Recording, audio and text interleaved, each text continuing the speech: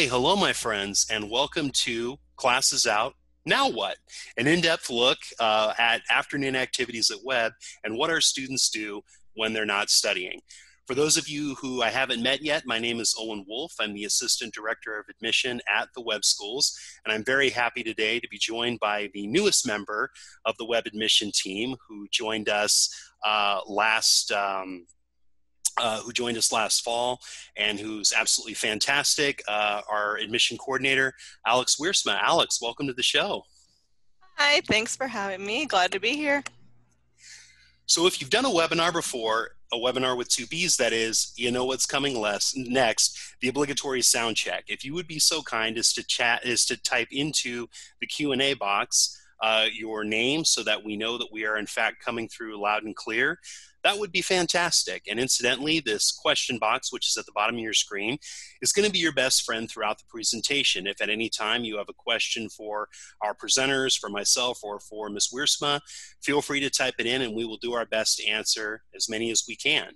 We're also going to be doing a live chat during uh, the webinar today, which we're very excited about. So if you click on that chat button at the bottom of your screen as well, you can communicate with any of us in real time throughout the panel. You can ask questions there. You can ask questions in the question box. And again, we will do our best to answer as many as we can. So Alex, are we coming through loud and clear? Yes, we are. All right, fantastic. Well, with that, let's go ahead and get uh, started. Uh, I have some fantastic panelists to introduce to you this afternoon. First up, we're going to start with the Director of Athletics, Mr. Steve Wishick. Mr. Wishick, welcome to the show. Glad to be here. Hello, everybody. Awesome. And representing our performing arts faculty, we have Miss Stephanie Plumley. Miss Plumley, welcome to you. Hi, and welcome everybody. And last but not least, we have our Dean of Campus Life and the coach of our swimming and diving teams, uh, Mr. Ken Rosenfeld. Mr. Rosenfeld, welcome to you too. Hey, everybody. Nice talking with y'all. All right. Well, we're going to jump right in because we've got some good information to cover with you today. So uh, we're going to start with uh, Mr. Wishick. Uh, but Mr. Wishick, uh, feel free to take it away. Uh, let's talk about afternoon activities. Yeah, no, happy happy to do so. First of all, just want to let everybody know I've been uh, at Webb now since 2003, so I've been doing this a while. I became the director of athletics and afternoon activities in uh, 2008. Uh, I have a son who's a 10th grader currently at Webb, and then also two other sons uh, who's a kindergartner and a seventh grader. So certainly um, been around a while. Um, in terms of athletics, it's a really um, big part of your experience, athletics and afternoon activities. We do that every afternoon. So from approximately 3.30 to 5.30 every day, the hours shift a little bit depending on our academic day and other things going on. You will be expected to participate uh, in either an interscholastic sport. So uh, we call those CIF sports. CIF is the California Interscholastic Federation which is our governing body. So you'll either participate in one of those sports or you'll participate in one of our afternoon activities. Um, the requirement is that you participate in a minimum of one sport per season. Um, you could participate in two. About half of our students participate in two sports a, a year. About a quarter to a third of our students participate in a sport every season. So you have to do something every afternoon, and you have to do a minimum of one sport per year. Um, depending on your familiarity, sometimes people think of you know Webb as a small you know athletic program. And i would say you know maybe we're small compared to other schools in terms of population but we're not small in terms of our offerings and our commitment to athletics and afternoon programs. We field um, as many sports as there are to be i think the only CIF sports we don't have are lacrosse and field hockey. We field everything else um, including badminton wrestling aquatics 11 man football you name it we field it. And the reason we do that and you'll also see this reflected in our afternoon activity program is yes, we are asking you to do this every afternoon. Some of you have a lot of athletic experience and this will be easy for you. Some of you, maybe this will be your first time participating on a team.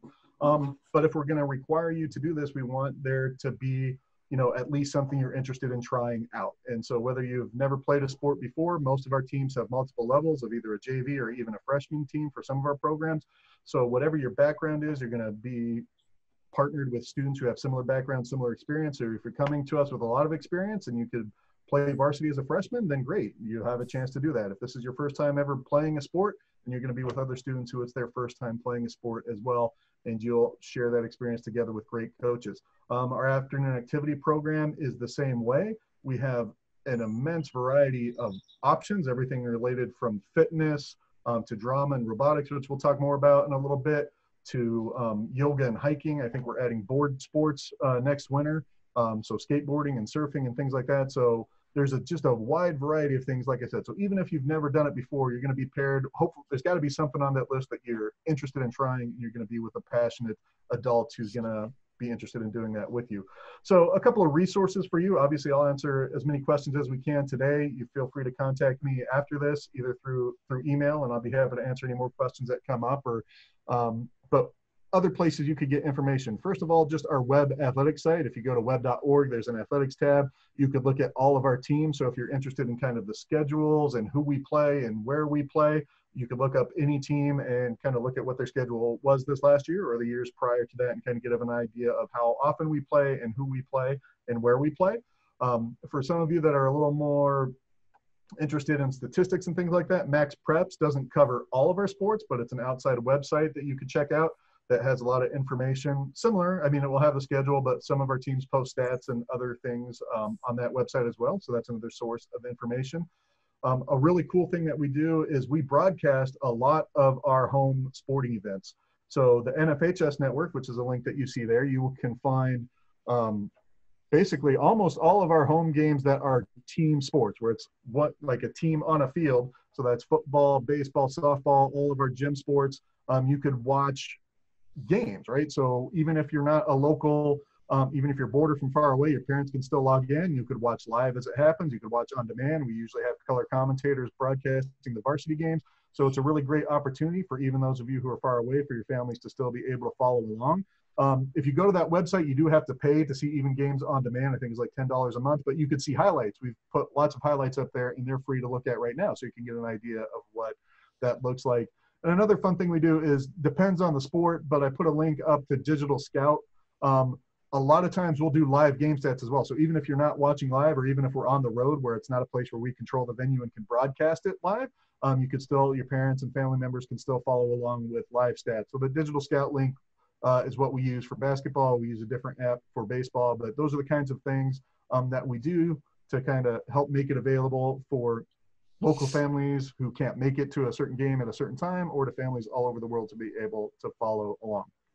So next up, I want to talk a little bit about robotics. So we do have a robotics team that falls under our afternoon activity uh, arena.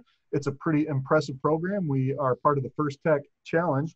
Um, like it says on that website, they've gone to Worlds. I think the last time I remember that they were, got to go to Houston. They do regionals. I know they've gone to Las Vegas for regionals pretty recently. There's even talk it's so popular. No promises, but we're, we're talking about can we pull off a third team with this group. So robotics meets in the fall and winter seasons. You do not need to be a participant in both seasons to be a part of robotics. Some kids do do it in the fall in the winter, but it's not a requirement to do it in the fall and winter. And just like every other thing we do, and that's also the reason kind of that push for that 13 is we want to make sure that students of all experience levels and all abilities are able to participate and have an entry point where they're learning um, to be competitive and to work together. Another cool thing, you'll notice that that picture is actually in our gym. We are kind of the local um, point of contact for the local league. It's robotics is a, organized a lot like a CIF sport. Um, and we host most of the competitions. Now there'll be a kind of a preseason competition early in the fall where they'll go to Monrovia or other places to try things out. But all of our league competition is based here out of Webb. So you get to do that on a Saturday or Sunday as the case may be. And then obviously if you advance from the league into regionals and national competition, then those will be other places as well. So I think that covers it for me, Owen. Absolutely, Mr. Wishick. Thank you so much. Ms. Plumley, uh, let's move into performing arts at Webb. Hi. Um, we have a lot of performing arts to do after school. Um, our major programs are theater, technical theater, and dance. Um, we really run these like conservatories more than just rehearsals. Um, we rehearse for two main stage productions. There's a play in the fall, and the musical is in the spring. Um, we provide vocal training, acting training, deep textual work, as well as rehearsing, and we like to build a feeling of family so people feel really good. Auditions are open to everyone, so it doesn't matter if you're a seasoned actor or a brand new actor. What we like to do is, if you're interested, bring you in and train you up. Um, there's also a leadership program within our performance series and uh, you could be a leader of a vocal unit or an acting unit. Um, and we also have a technical theater element where we have people coming in, and our tech program works with everything from sound and lighting to set building to hanging lights to scenic painting. So anything that happens backstage um, happens in our technical theater program, including stage managing, which kind of bridges both performing arts and the technical theater side. Um, and that's a big leadership thing too. So what happens is everybody kind of learns everything and then you can specialize in sound or lighting or set design or something like that. Um, and then we all work towards the goal of either putting on a play or putting on a musical at the end of the season. Um, we also have a great dance company. Um, we put on a dance show every year. There's a dance option in the fall where kids can just dance if you just are interested in it. Like Steve was saying, you can try out anything. Um, and this is a chance to try out dance if you've never done it before. And then the following season, we have a dance concert and we work towards that. And we like to give dancers agency in terms of bringing their own talents in. So whether you're a tapper or a modern dancer or a ballerina or just a ballet dancer. Um, there's lots for you to do and ways for you to contribute in that programming as well. Um, we also have after school music uh, in the winter time and and just the winter, um, where you can practice your own instrument and do some deep practice on that every afternoon after school. Awesome, so fantastic, wonderful. Thank you very much, Mr. Rosenfeld. Clubs, organizations, leadership, and uh, all all other good things that are Webb all of the good things that are Webb. Thanks, Owen. Um, this is this is my 15th year actually at Webb, uh, but this is the first year where I'm the dean of campus life. Um, a lot of people don't really know what that means. That means uh, I get to be in charge of all of the fun around here. So I think I got one of the best jobs on campus around here because um, I'm in charge of the clubs. You just mentioned clubs there, and we've got over 75 different clubs at Webb actually right now different. We have culture clubs, we have service clubs, we have arts clubs, we have sports clubs, and then what I call just for fun clubs as well, where kids get to go ahead and uh, bring one of their activities, one of their passions, one of their interests, and share it with the rest of the community. And in order to have a club, you need to have an advisor and you need to hold monthly meetings and you need to have at least one event per quarter. And an event sounds kind of intimidating, like, you know, you have to throw a big party for the whole community or something. It really is that you just have to have some sort of activity, something going on related to your particular activity. So um, our kids are actually pretty pretty actively engaged and a lot of them are members of a variety of different clubs and some of them even run a variety of different clubs and we have a lot of interaction and collaboration between them uh, mostly they do their activities on the weekends. Uh, sometimes they fold them in during lunchtime and just during the academic day as well, depending upon what is that they're doing. Um, but our, our kids, like I said, they're pretty actively engaged with these clubs. Uh, as far as leadership is concerned, uh, we've got a wide, wide variety of leadership positions around here. Uh, the big ones are we have our HCs, uh, that's our honored cabinet members and our honored committee men. Uh, we have our prefects, and there are prefects that are in the dorm, as well as we have our day student prefects. We have our student government execs, as well as our student government uh, leaders and commissioners. We have our class presidents as well, and vice presidents. We have our peer advisors. We have our admission fellows. We have our international student liaisons, chapel council, head waiters, and like I mentioned, club leaders. And Ms. Plumley also mentioned some of the leadership positions that you have in the arts program. And then there's, of course, team captains as well uh, within our athletics program. So if leadership is something that you're really excited in, really interested in, in mm-hmm. delving into, Webb's a great place to go ahead and do that. And you know, it's it's one of those things where if you're here for four years, lots of opportunities to go ahead and not just try out different leadership positions, but develop those leadership skills to figure out exactly what kind of leader you are. Uh, we're discovering these days that uh, titles, you know, those help, but you know, sometimes it's about those characteristics and about those elements within you that are going to go ahead and define what kind of leader you're going to be and determine if you're going to be a leader or not around here. And so um, those are the official positions, but even if you don't ever hold one of those, doesn't mean that you uh, can't be a leader within our community around here. So I'm happy to talk with you about any of our club leadership opportunities or really also anything as well. Awesome. Well, Mr. Rosenfeld, Mr. Wishick, Ms. Plumley, thank you so much for your expertise. Speaking of uh, talking, uh, let's do some talking now. What questions do you, our audience, have for our panelists. Uh, Ms. Wiersma, all you. All right, so we have a couple questions lined up already. Our first question we have um, so in case that someone wants to view some of the links that were shown in this presentation, will those be available in any other format for them to see? They will be, yes. So we are recording the presentation. So if you want to watch it again and uh, see all of our uh, happy faces, you're welcome to do so. And uh, yes, all the information will be contained online as well. All right, so we have another question. This one comes from Izzy. What is the difference between instrumental music and the orchestra or symphony class? I know one is during school and one is after school. Ms. Yes. Plumley, will have you take that? Yeah. Hi. Um, instrumental music, what we call Sinfonia here, is part of the academic program, and that's our entire or- orchestra program. And then after school um, is just our instrumental music program, where you can either practice your solo instrument if you like. And I know a lot of kids get together to do chamber music or jazz. So anyone who's involved with the after school program usually collaborates with someone else um, to do something else. So it's more individualized in the after school program. And I know a lot of kids also um, put together programs for our library series every Friday at lunchtime, and they play for their peers in the library, which is really fun. Great. That answers. So Absolutely. So we have a question from Neria about uh, running for freshman class president. Is that something that would be able to happen? Absolutely, absolutely. Um, we actually delay that just a little bit. It's not as if you show up uh, for orientation immediately start campaigning. Uh, we actually usually push that back to the end of the first quarter to give the ninth grade class an opportunity to get to know each other a little bit first. Uh, so that way, when they are choosing their leaders, they're doing so, um, you know, with at least a little bit of experience and a little bit of an opportunity to, to get to know uh, those who are running, the candidates that are there. So it's not really uh, as much of a popularity contest. It really is an opportunity for those who want to lead their class to go ahead and do so, and for uh, the members of the class to go ahead and choose with a little bit more uh, knowledge and experience with that person. All right, great. Okay, so we have a question coming from Ben. So this is more for Mr. Wishick. Can you participate in both robotics and a sport?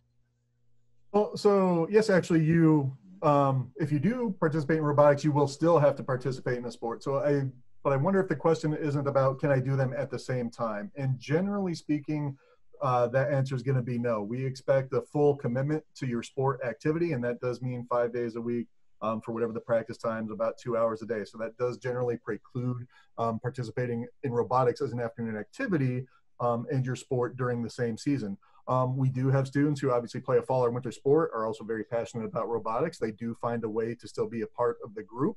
Um, but the teachers are very aware, the robotics um, instructors are very aware of that outside commitment. So the expectation of that of those students is less, but they are still welcome to be involved. Oftentimes they will still go to the competitions. So there are ways that we work around it, but you will not officially be enrolled in robotics in a sport at the same time. Um, so that may mean for some students it works out really well. You're interested in a spring sport, you do robotics in the fall and the winter, and then you do um, your sport in the spring, and that works out really well. Uh, for some students, if your favorite sport is a fall or a winter sport, um, you might have to work that out with uh, instructors and with the other members of your team. But our students do that um, all the time pretty successfully.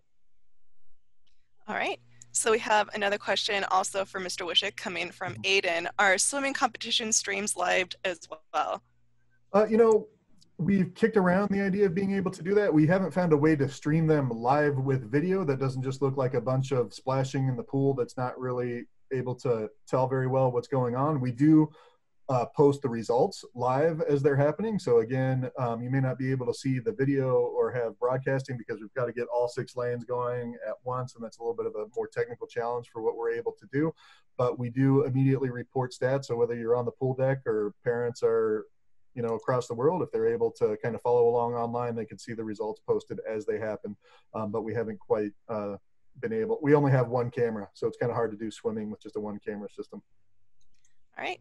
So another question which probably might be for either ms plumley or mr wishick. If uh, the student does dance will they be considered an art or a sport? Good question. Um, the first season is just what it is an afternoon activity for everyone to try. And the second season, working towards the dance show, is considered your sport for the year. great. And from another student, if they join orchestra, do they have to participate in a sport as well? Yes, they're two different things. So um, the orchestra takes place during the academic day, and then you need to fulfill your sports requirement after school. So we have a lot of a lot of athletes actually in our orchestra. So it's it's very possible to do both fully and passionately. Great. All right. So we have another question from Aiden. Uh, when are competitions generally held? Wednesdays, Saturdays? Uh, the Wednesday, Saturday, uh, it's a typical boarding school model. In, in California, there's not a lot of boarding schools though. So our competition, we're actually, our governing body encompasses uh, public high schools, parochial high schools, independent schools, boarding schools like us. Um, we don't have a set day. We try to play as often as we can on Tuesdays and Fridays, actually. Um, our academic day ends a little bit earlier on Tuesday and Friday at 2 o'clock. And in fact, it also ends uh, at 2 o'clock on Thursday because uh, Thursday is often a game day.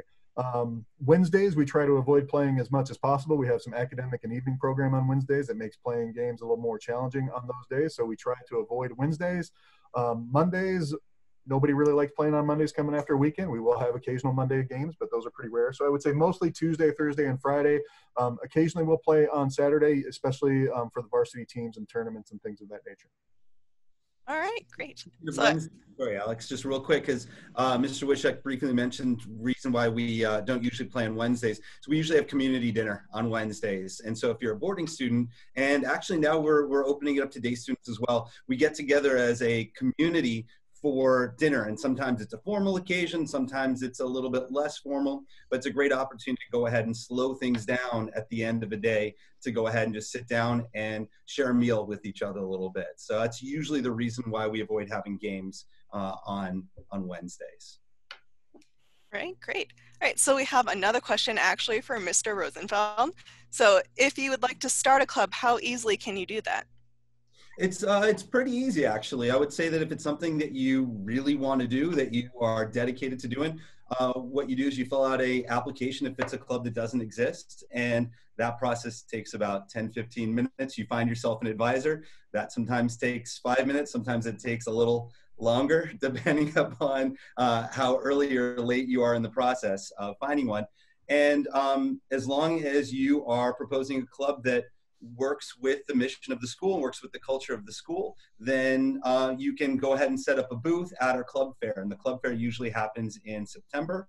And then you get your members to sign up. And as long as you have your first meeting and send all the information to me by the uh, by mid-October, you are um, a, a club as long as you fulfill those uh, those requirements that I had earlier, which were that you meet once uh, once a month and that you have quarterly activities. So if it's something you're interested in doing, it's definitely something you can pull off. All right, perfect. And another club related question. Uh, do students get opportunities to participate in math contests in the math club?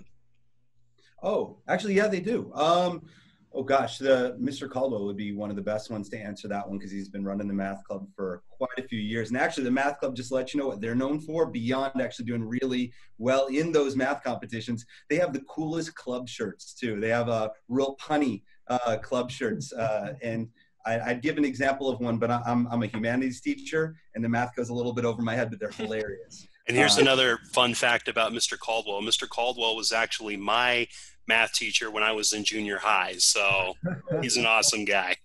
really is. Um, but yeah, they definitely do. They, they participate in, in several different math competitions. Some of them on campus, uh, sorry, uh, yeah, some of them on campus like the AMC, and then uh, some of them they actually go off campus for those.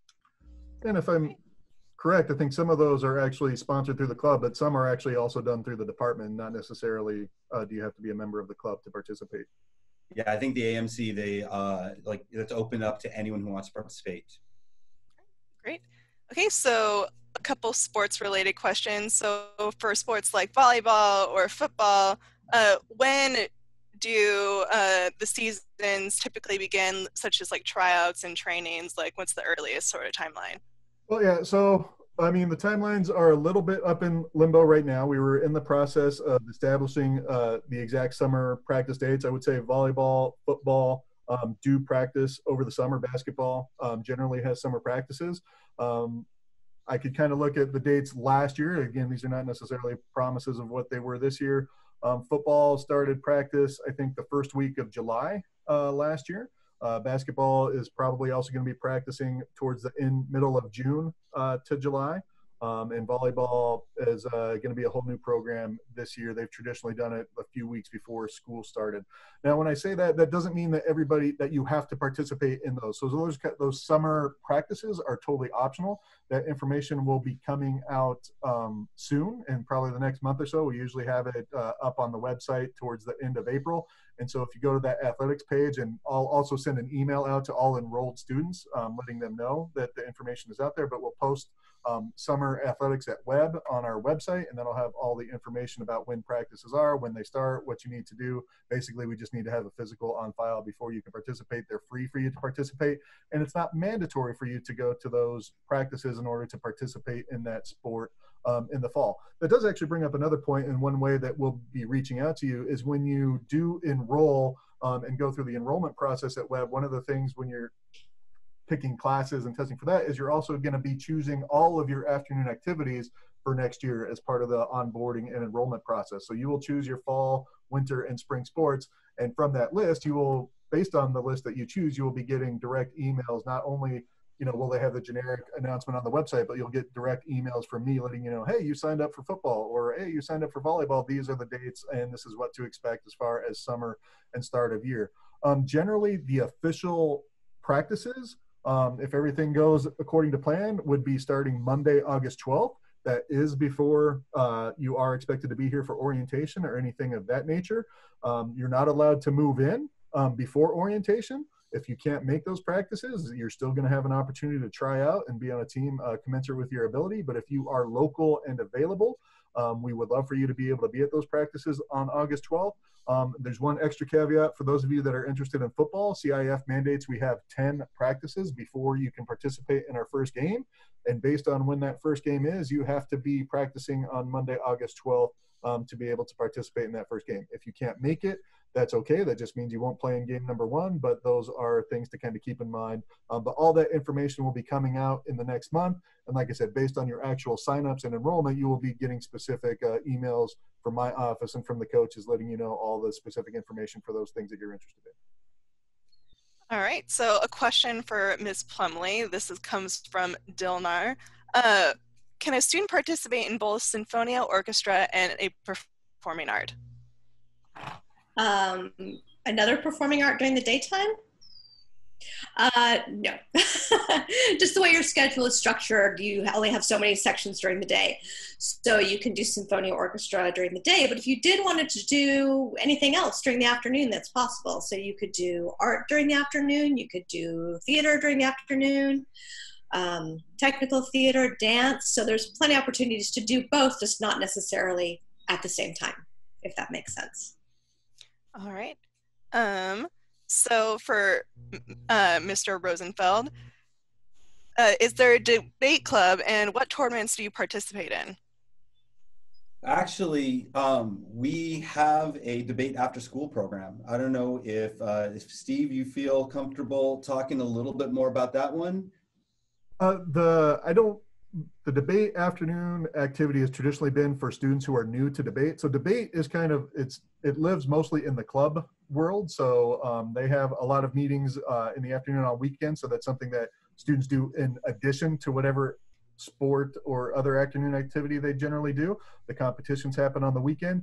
They do we do offer one season of debate as an afternoon activity, but that is geared for new and novice debaters to get them up to speed. So if you've never done it before, and you're interested and you don't have anything else that appeals to you, then you would definitely sign up for debater. If debate's really um, something you're very interested in, um, especially for new students, that would be something you sign up for. But again, it's not a requirement to participate in debate as an afternoon activity to be in the debate program. In fact, the vast, vast majority of our debaters do not actually participate in debate as an afternoon activity.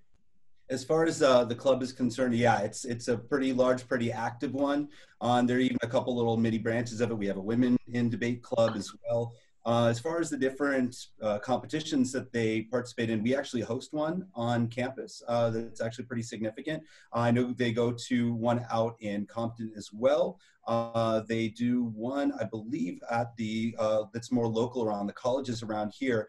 Um, Ms. Fisher is actually going to be, if you have specific questions about the debate program, she is our debate guru, our debate advisor, our debate teacher, our debate coach. Actually, she refers to it as varsity debate. Uh, and, and, it's the varsity debaters who wind up actually going to those particular competitions. We had one out in, um, oh gosh, yeah, we had one. I want to say, yeah, Compton was the most recent one that we went to, other than the one that we had on campus uh, in the winter. All right, so one another question, where does golf practice and how does transportation work out getting to and from the facility? So our uh, girls team generally practices and plays at Marshall Canyon, which is a golf course here in La Verne. We have a, the coach drives a van off campus every afternoon. So while everybody else is, you know, changing and getting ready for their sport and going to their field, you're getting ready for your sport and then going to your van and you're driven over to the golf course. Um, depending on the day, you might work at the driving range, or you might play. Usually, we're not able to get nine holes in um, in the practice time allotted, but uh, you might play uh, several holes or work on putting or work at the driving range or whatever the case may be. Um, our girls coach also is a trainer at a local facility, and so sometimes she'll take you over to that facility to to work out on their machines and get some advanced training in that method. Our boys team they play their um, matches at San Dimas Canyon Golf Course. Um, sometimes they practice there, sometimes they'll practice at Marshall Canyon, or sometimes they just want to change a pace and we'll go to Mountain Meadows. But again, the transportation idea is the same. You get ready, hop in the vans. Uh, we make sure the van can hold all the golf clubs, and then you're off and running to whatever course or driving range you're going to play at that day. All right. So, one question that is on the topic of clubs uh, are there any clubs or organizations related to student newspaper or magazines? Uh, there, there are, uh, but we actually have folded the uh, student newspaper uh, into it. Uh, it's actually a humanities class right now, and so there's actually three different levels. They all work together. Um, but yeah, there, there's the Webb Canyon Chronicle run by Dr. Jula, and it's uh, primarily an online student newspaper at this point right now and i believe you can go ahead and access that through our our website. But that one actually has grown from a simple activity into a full-blown humanities-based program um, as, but we do have a variety of other different lit-based clubs. Uh, we do have Breakfast, which is a lit magazine uh, that is entirely student-run, but we do have faculty members who also actually contribute to it as well. Uh, so if writing is your thing, absolutely, there are great club opportunities for that. All right, so I have one last question uh, coming from Ileana. What arts classes are offered? Hey, Eliana, nice to talk to you. Okay, so during the day, the academic day, we have sinfonia, choral music, visual art, digital art, and theater. Um, and then after school, we have theater, theater tech, dance, uh, um, instrumental music, and we do have an art offering in the winter as well, where you can go and work on a portfolio or work on art projects.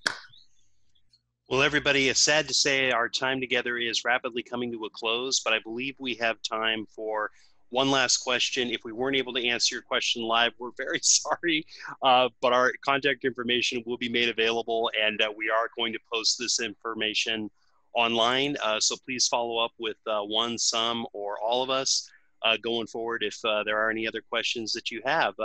Ms. Wiersma, what's our last question going to be for the day? All right, so this is going to be from Mr. Wishick. So, if your sport is off season, how do you stay in shape year round? For example, water polo or swimming. Uh, that's a great question. Um, we have various options. I mean, one of the best ways to stay in shape is to just play another sport. Cross training and doing different activities are a great way to to stay in shape. So, just making sure you choose an afternoon activity that is uh, well has a fitness component. Um, even a lot of them that you might not think do. I, I know that uh, Linda Silva, who runs our winter uh, instrumental program, she makes sure they're hiking and doing some yoga as well to stay physically fit. So you might want to uh, look into that. But that's one way to do it. Um, we do have a fitness center. Now, I do want to stress that fitness is not available to ninth graders. Um, we want our ninth graders trying out our various programs and participating. So the fitness class as an afternoon activity is not available to ninth graders, but you can work out at the fitness center after um, your class before dinner if there's time or on the weekends. You do have to be there with adult supervision but that's usually not an issue. We do have lots of open gyms on the weekend so that's one way to stay in shape.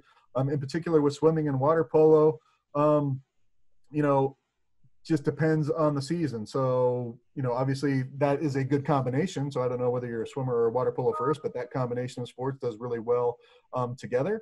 And then it would just be a question you know in the fall season you know what do you find interesting, right? So maybe it's a sport you've never done before, but there's got to be something that you find interesting and that would certainly, whether it's a sport or an activity where you could find uh, an opportunity to stay fit. So that's how most of our students do it is, and I would say even if you're not doing something that's primarily physically active, just the culture of the school and the opportunities. I mean, on the weekends, there's hikes and there's always kids playing tennis on the tennis courts, uh, no matter the time of day or, or part of season. Um, so there's plenty of opportunities for you um, to find like-minded individuals to, to work out with and stay fit with. I mean, and if it's something specific about swim or water polo, um, as far as opportunities are concerned, what I typically run for the uh, for the swimmers or pretty much anyone who wants to participate in it, usually starting October, November, I'll start running morning uh, workout opportunities. And so we split our time. Some mornings we're in the pool, and some mornings we're up in the fitness center. It uh, usually runs from 6:30 in the morning to 7:30 in the morning. It's 100% optional. Um, and you know, I've, the only rules that we have in there is that you have to be in bed by 10:30 the night before with all of your homework done, ready for class for the next day and you can't be falling asleep in class. You have to be uh, fully alert, ready to go the next day, even if you do come in the morning. So uh, our swimmers in particular, if they want to go and, and stay in shape, this does not count at all as a uh, as an afternoon activity because we do it in the morning and it's 100% optional. But it's a great way to be able to go ahead and stay in shape in the off season, and uh, we get to know each other a little bit better as well. It's usually uh, a little bit less intense and a little bit more focused on really just staying in shape as opposed to really focusing on heavy duty conditioning. Well, Mr. Wishick, Ms. Plumley, and Ms. Mr. Rosenfeld, thank you so much again for being with us today, for sharing such great information. Ms. Wiersma, thank you to you as well for doing such an amazing job moderating our Q&A. And to our attendees, thank you so much. Uh, for those of you for whom this was your first webinar. We hope you enjoyed it. For those of you who have been kind enough to join us these last few weeks for our webinars, thank you so much for your support. It's been a pleasure spending time with you and stay tuned for more in the days ahead.